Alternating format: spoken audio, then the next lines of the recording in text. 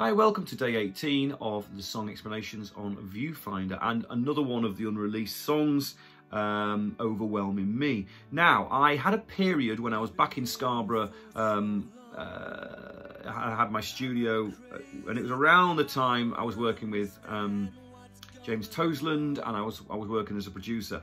I wanted to write a lot of new songs. I wanted to work on some stuff um, and just kind of write for any any reason at all. I didn't really have a plan. It was just like I wanted to write some songs, and and I was also part of the reason why I wanted to write these tunes was because I was just getting conversant with Pro Tools.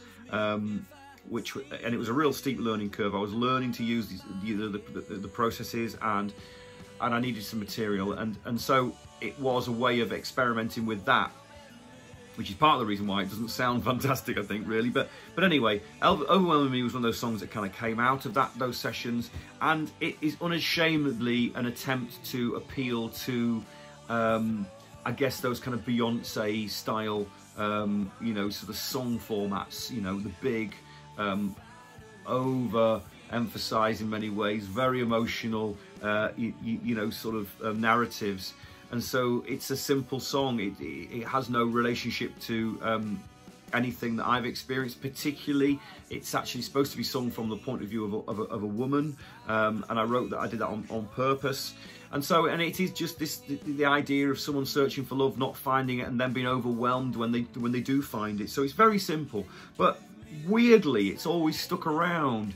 And I think it is one of those songs that in years to come, you know, maybe they, there'll be a place for it with somebody else, and it could be rewritten. I think it. I think it's quite. Um, I think the recording's very clunky, um, and I. There's not a lot of finesse. I played everything on it. That's probably why it sounds so clunky. I played the piano, I played the bass, played all the guitar, you know, etc. Programmed the drums, um, and so it started out, what started out as an experiment has now ended up as a piece of music that I can't kind of get rid of. maybe, maybe there's something in that. But anyway, um, yeah, it's, like I say, it's a demo, um, and it was mixed by my good friend Steve Harris, who's a producer that worked with Little Angels way back in the day, and he very kindly said he would mix, mix the track for me, and I do think his mix is fantastic. He did the best possible job he, he could with what I gave him. Um, yeah, so, yeah, it stands as a little document of that period.